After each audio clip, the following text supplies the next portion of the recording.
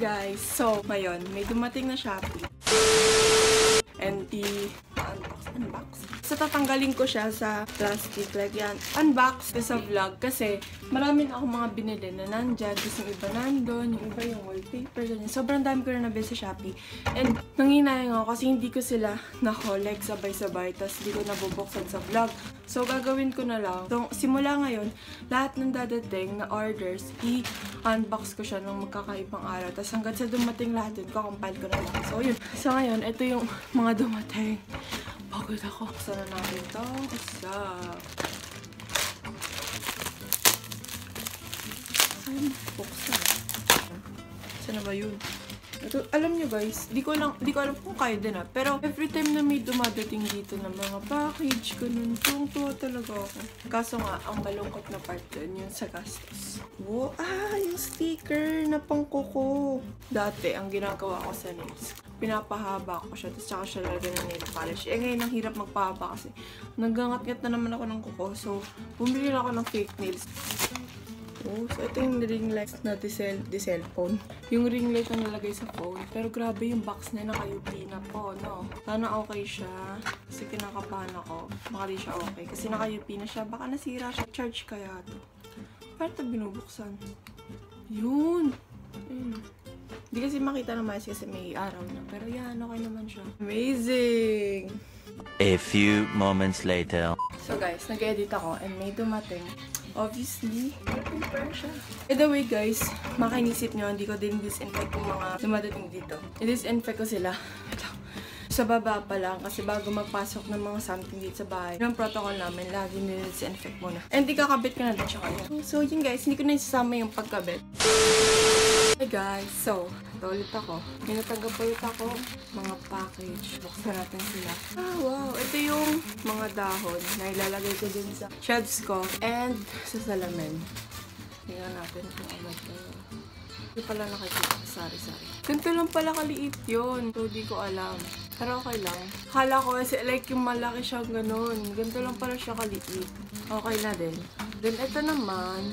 Kung ano man ito. Oh, yung glue sa nails. So far, ito na yung mga dumating sa akin. Pero may mga inaantay pa ako, so stay tuned. Hi guys, so as you can see, bagong ligo po ako. Di pa ako nakapagsuklay. Kakauwi ko lang kasi galing ako Paranaque. And naligo ako kasi syempre, kailangan maligo pag galing ka sa labas. So yeah, pag uwi ko, merong mga dumating sa akin na package. So, bubuksan ulit natin sila. Kanina ko pa ito gusto buksan, kaso naligo pa ako. Sa, eh, sa vlog ko siya bubuksan. So, pero ganito na lang. Tignan niyo yung lalagyan, guys. Lalagyan ng hopya. Lalagyan ng hopya. Hopya po talaga in order ko, guys. Na-realize ko, guys, every time na-unbox ako, nasa baba. So, hindi nyo nakikita. Oh. Letter A. Lalagyan ko pa po siya ng glitters para naman medyo fancy. Ito, what's this? Yung scrunchies! Yay! Okay guys, meron po akong ginawa na nalalagyan ng scrunchie. So, in-edit ko yung video and na-realize ko. Dati, bumibili ako ng scrunchies. Hindi ko alam na pwede naman pala akong gumawa and ngayon na-sell ko pa. So, yun. Wala. Yan, nalagyan po siya ng scrunchies. Ito. Ayan, holder siya ng scrunchies. Ginawa ko lang to. Ano to? Pringles. Eh, naghanap kasi ako sa Shopee. Wala pong holder ng scrunchie na binibenta. Wala akong makita. So, yan. Gumawa na lang ako. Nakatipid pa ako. Kung napapanood nyo to ngayon, matagal ko na tong finilm. Kasi, inaantay ko pa ibang order. Sobrang dami pang pending. So, yun. Nilalagay ko na po. Kasi ang cute nila pag magkakasama. Cute, oh. Cute ng pagka-flower niya. Ito naman, oh! So, yun. May na-realize pa akong isa. So, nakita niyo yung reaction ko, yung happiness ko nung na-receive ko yung scrunchies ko. And, imagine, like, paano pa sa iba, sa mga customers ko na sinasabi na gusto nila, chuchuchuchu, na-enjoy nila yung scrunchies. So, ano pa yung feelings? I'm speechless, guys. MG, ang kanta! Ala! May scrunchie din pala ako dito. Gamit ko kanina. Kanta! Ayun o. Ayan, sama-sama sila dyan. Mm, cute naman. Bibili pa nga ako maraming scrunchies. Nakakatuwa. Ay, shit! Tatlo yun. Ah, sabi ko na nga. Tatlo, tatlo yung order ko eh. Ito yung isa. Ano? Aba! Dalawa ang ano niya, guys. Ang wrap niya.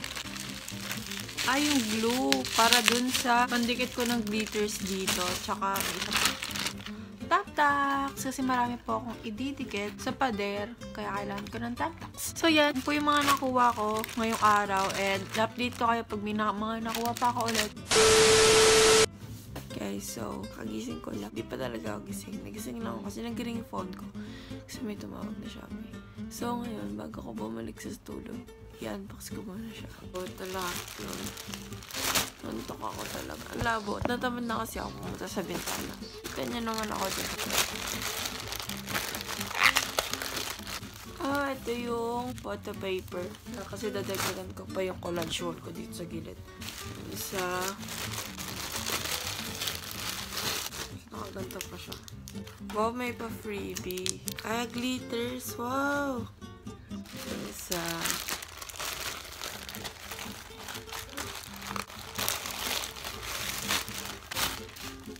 Ayun, tape. So, yun. So far, ito yung mga dumating sa akin. Yung photo paper ko, na ipiprint ko. Yung tape, pandikit ko, and yung glitters. Ano guys? A few moments later. Hi guys, so, gagawa po ako ng collage wall dito sa may kilid. Basta yung gagawa ko ng collage wall. Tapos biglang may dumating na Shopee.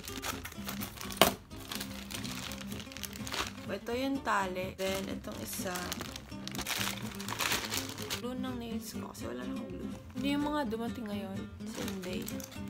Nung kanina. But may glitters ako. Wala akong glitters. Hi guys, so may dumating ulit ako. Ito. Bubuksan po natin siya. Isa-isa. Yeah, itong isa. Dahon siya. Happy kasi yung una kong binili, konti lang pala siya. So bumili pa ako ulit. Kasi kulang. And itong isa. Ito naman. Hindi ko mapersa kasi yung kuko ko parang matatanggal siya. Manila paper to guys. So di ko na lang siya bubuksan. Pero yan. Ito. Medyo mabigat siya. Ito. Double packaging siya guys. Kasi ewan ko kung bakit. Pero double packaging ko. Ha? so, so maghanap lang ng content kasi hindi siya mabuksan. Ang dami niya. Pero alambre to. Kasi gagawa ko ng DIY na neon sign. Tsaka ito pa meron pa. Gagawa ko ng DIY na neon sign. So, kailangan ko, sabi dun sa tutorial, kailangan daw ng alambre. So, bumili ako ng maraming alambre. Ang maliit lang pala siya, dude. Kasi super liit lang niya.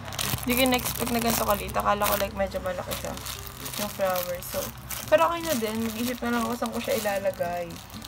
Wala akong maisip. Pero, figure out natin saan ko mapapakinabangan ko to. So, yeah, yun. So far, yun yung mga dumating ngayon. So, marami pa ako inaantay. Sobrang tagal pa bago ma-upload tong vlog na to kasi ang dami pa. And yung iba, to ship pa lang sila. So, yun. Hindi ko alam kung kailan ko siya mga compile lahat-lahat. A few moments later. Hi guys, so ganyan na lang po yung camera. Tsaka dito na lang ako na video kasi ayoko nang makiat. Tsaka dito kasi ako nanonood. So, yun, ah, gusto ko lang buksan yung Shopee na dumating sa akin ngayon. Double-sided tape siya, alam ko. Pero buksan na rin natin. Kasi lahat talaga mga kaila. Oh, may gulay. And may pa-letter yung seller. Wow. Thank you daw. Tsaka meron siyang pa-keychain. Yay! Thank you so much. Naman yung isa. Fake nails ulit. Yay. Kasi yung fake nails ko, paubos na kasi lahat nalagyan ko siya design. By the way, nagpalit ako. Pero yung isa, wala siya kasi minsan kapag flush, nahirapan ako magpindot. Tapos basta medyo nahihirapan ako mag maggawa-gawa ng mga bag. Kaya ito lang yung nilagyan ko muna para at least masanay ako. And ito, at least para may magawa ko. So, yun. So, yeah. Ito yung fake nails ko. And inaantay ko pa yung mga nail stickers ko para malagyan ko sila ng design. Hi guys, so ngayon, tutulog po ako. And bigla may dumating ulit na Shopee. Gamit ko natin ito. Kung ano ba ito. Ayun yung mabuksan. So, ito na lang. Tote bag. Sa'yo na lang to boy. Bigay ko to sa'yo. Yan. Bigay ko siya sa kapatid ko. Nilibre ko siya ng tote bag. Ah! Ang hirap niya, no? Nail polish siya. Yan, nail polish po siya. Pakita ko sa inyo. So, wala po ang gunting dito, kaya gagantuin na natin siya ng cutter. Yay! Yung nail polish ko, papalitan ko na ulit siya. Yun yung mga dumating ngayon sa akin and Hi guys, so good morning. Kakagising ko lang po. Afternoon na pala actually. May dumating ako mga Shopee. Bubuksan po natin sila. Wala po kasi akong kagunting. Cutter ko na lang. Shit. Ba't laging naka-double plastic sila? Oh, may Shopee Express na naka-JNT pa. Yung totoo, sino nagpadala? Ah, yung tela na binili ko. Ito yun. Super mura lang na ito, guys. Alam mo nung gagawin ko dito? Pag-isipan ko. Awan ko ba't ako bumili ng tela? And ito naman, ay mga clips para dun sa pictures. More on pang room decor talaga siya, guys. Then ito naman. It, Hi guys, so kakagising ko lang ulit and may dumating po ulit na Shopee. Pero dalawa lang. So may malaki po akong pimple dyan. Huwag nyo napansinin. Buksan na natin itong isa. Ito muna pala. Shit. Ah, ito yung sa nails kasi iba yung in-order ko. A few moments later. So yung sa Shopee pala yung nag-text. Yun, ito. Isa lang yung bibilin ko talaga. Pero kasi, yung order ko talaga, ubus na. Like, out of, ay, out of stock na. So, binigyan ako ng isa ng seven. May kasama pa siyang nail file. Cool. Ito naman. Yung, yung EL wire. So, tignan natin kung gagana siya. Hindi ko alam kung binabattery. Alam ko binabattery siya. Lagyan ko muna siyang battery. So, yan. Kinuha ko muna yung battery ko sa EL wire, ay sa fairy lights ko. Hindi, ito po yung, wait lang, ay, ang liwanag. So, hindi makita yung brightness niya. So, ito po yung ilaw. Yan. Sobrang nipis lang pala niya. Pero okay lang, pagkakasyahin ko na lang. So, yun guys, yun po yung mga dumating. Gagawin ko na yung mga dapat kong gawin. And yeah, thank you for watching. So, may dumating ko dito isa. Bubuksan. Hindi na ako nag-set up kasi isa lang naman to. Gusto ko na lang ng isang kamay. Yung laman. Bakit clear? Mm, ito. Mga nail chuchu.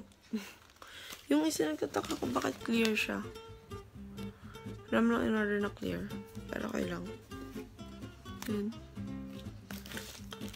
Ito. So, yun yung mga dumating. Gagawin ko na siya. Lagay ko na siya sa mga fake nails ko. And yeah.